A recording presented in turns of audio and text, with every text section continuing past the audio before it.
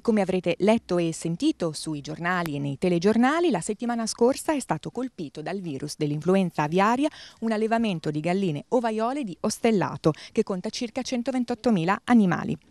L'azienda dal 13 di agosto, quando si è manifestato il sospetto della malattia, è stata immediatamente isolata e sono state predisposte da parte dell'azienda USL di Ferrare e dai servizi veterinari della regione Emilia-Romagna le operazioni di abbattimento che sono iniziate giovedì 15 agosto e sono proseguite per circa sette giorni.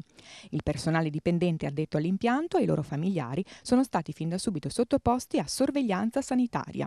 Verranno ritirate tutte le uova prodotte dall'allevamento dal 20 di luglio. Si tratta di una misura a scopo preventivo. Secondo la vigente normativa, l'azienda interessata, che non ha contatti con altri allevamenti rurali della zona, verrà indennizzata per i danni subiti in conseguenza del focolaio.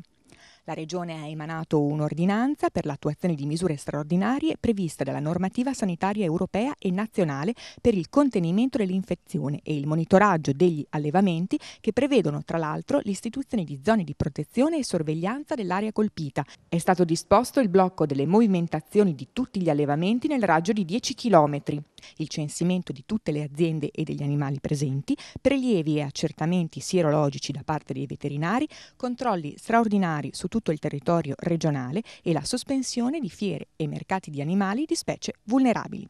Se ci saranno altre notizie in merito ve le comunicheremo, naturalmente intanto vi invitiamo come sempre a consultare sul nostro sito www.agrestetv.it la voce news oppure in questo caso a visitare anche il sito della regione Emilia Romagna www.regione.emilia-romagna.it.